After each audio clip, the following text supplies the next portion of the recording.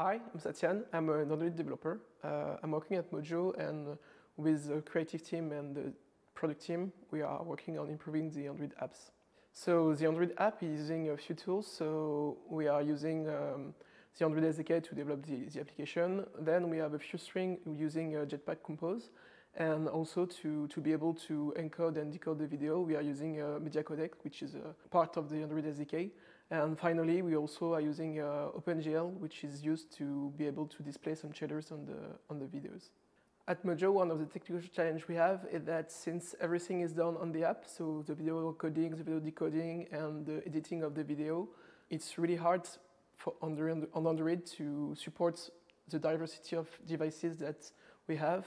So uh, we need to be able to test uh, the app on multiple devices and to do the best to support every users. So at Mojo, we are working in a squad. So each quarter, we have a, a different squad on a different subject.